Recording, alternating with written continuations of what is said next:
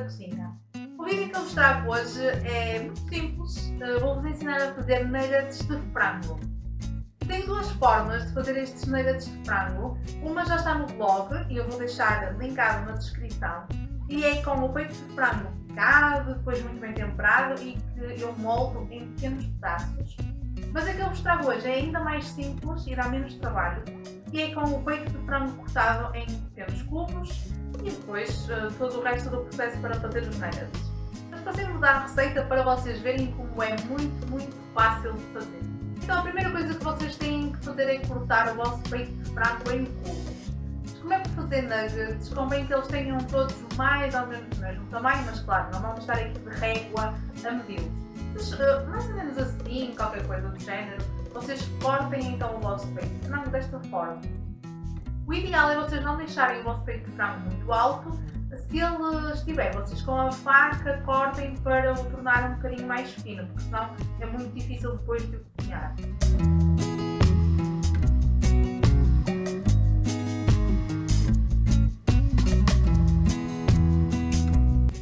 Coloquem todo o vosso peito de frango já cortado numa taça para passarmos à parte dos temperos. Eu temperei com sal, com pimenta, depois dei uma ligeira mexidela, adicionei um bocadinho mais de sal e de pimenta para que todos os pedaços de carne uh, recebam temperos. Juntei dois dentes de alho uh, esmagados.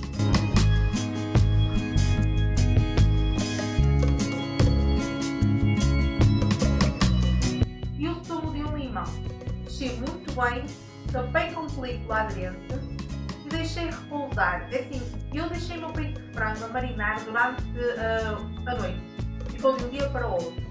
Vocês, se não quiserem estar à espera tanto tempo, pelo menos uma hora convém deixá-lo a marinar para que ele tome os sabores de, dos temperos, porque senão também a vossa carne não vai ficar a saber a nada. Com o peito de frango marinado, vamos passar à parte de preparar a nossa estação de trabalho para depois podermos fazer uh, todos os panadinhos. Então, eu uh, coloquei farinha num prato e temperei-a. Temperei com um bocadinho de sal e pimenta. Estes temperos são a olho, é um bocadinho difícil de dizer a quantidade que eu adicionei, mas talvez uma colher eh, para duas chávenas de farinha, talvez uma colher de, chá de sal e outra de pimenta eh, seja o suficiente. Misturem bem e reservem. No prato coloquem uh, dois ovos, eu coloquei dois ovos, vocês vai depender da quantidade de, de frango, de nuggets que queiram fazer, mas eu coloquei dois ovos, e adicionei, bati-os bem e adicionei um pouquinho de água fria para tornar os ovos um bocadinho mais, para diluí-los um bocadinho, ser mais fácil depois de passar o, o frango pelo ovo. Reservem também. E agora, a parte do pão ralado, eu utilizei panko, que é um pão ralado japonês, ele é mais uh, crocante, uh, tem uns, uns pedacinhos maiores de pão ralado, por isso é mais crocante. Este pão ralado eu adicionei meia chávena de queijo ralado, eu utilizei um queijo português, que é o queijo da Ilha de São Jorge, mas vocês podem utilizar aquele queijo que vos apetecer, parmesão ou outro qualquer, não importa. Juntei também duas colheres de sopa de salsa bem picadinha. Misturei tudo e depois coloquei a minha linha de montagem uh, toda direitinha. O prato da farinha, o prato do ovo batido, o prato do pão ralado e um tabuleiro forrado com papel vegetal para colocar lá todos os meus nuggets. A parte de falar então o frango, o que eu faço é pego uns bocadinhos de nuggets, de, de peito de frango, passo na farinha, passo no ovo e depois passo no pão ralado e coloco no tabuleiro. Nada mais simples do que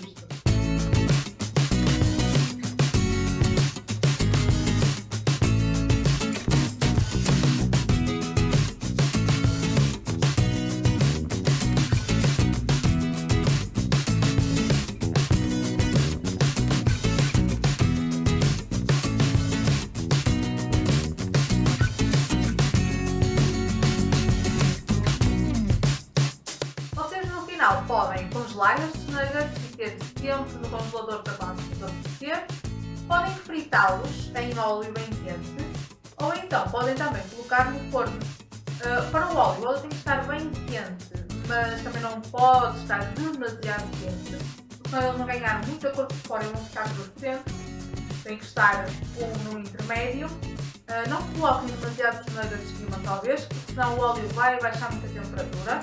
Já vos falei disso noutros vídeos Convém colocar alguns e depois deixar, fritar, ficar mais douradinho, depois colocam outro, retiram aquele. Sem, uh, sem, grande, sem ser muito complexo, mas uh, com cuidado para que o óleo não fique muito frio. Para colocar, uh, para fazê-los no forno, eu coloquei-os num tabuleiro forrado com papel vegetal e adicionei um bocadinho de spray de azeite. Pus-os no forno pré-aquecido a 180 graus e demoraram mais ou menos 25 minutos a ficarem prontos. Meio deste tempo que eu fiz foi virá-los para que eles ficassem douradinhos e amontoados. Claro que feitos no forno ficam igualmente deliciosos, ah, mas a verdade é que os fritos são melhores, é verdade. Têm um aspecto mais bonito também, mas sim, são muito mais saborosos. No forno, são muito mais saudáveis, portanto fica ao vosso critério fazer de uma forma ou fazer da outra, é como vocês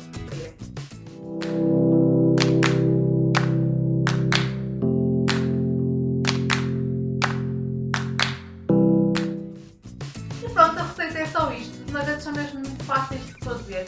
Como já vos disse no início do vídeo, na descrição eu deixo ficar o link para outra maneira de fazer nuggets. Se vocês quiserem, deixem ficar nos comentários que eu qualquer dia faço um vídeo com essa segunda forma de fazer nuggets.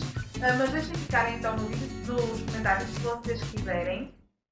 E, uh, e, pronto, é só isto. Receita é mesmo muito simples, muito básica, uh, mas que eu achei que, que, que merecia estar aqui no canal porque são são deliciosos e fáceis de fazer e são perfeitos para termos no congelador e utilizarmos naquelas emergências, mesmo mesmo muito bom. Gostaram do vídeo? Não se esqueçam, deixem o vosso like. Estou a contar com ele, estou a contar com os vossos comentários, com as vossas sugestões de receitas e de vídeos que querem ver aqui no canal. Não se esqueçam de subscrever se ainda não o fizeram, ativar o sininho para receber as notificações. Se experimentarem fazer estes nuggets, tirem fotografia partilhem Instagram com o hashtag O Prazer da Cozinha, adicionem-me por lá, meu nome é Cláudia Ralha, no Facebook, Pinterest e no Twitter encontram-me como O Prazer da Cozinha. Eu despeço-me com muita, muita, muita, muita amizade, com muito carinho e uh, o uh, encontro marcado para o próximo vídeo. Até lá!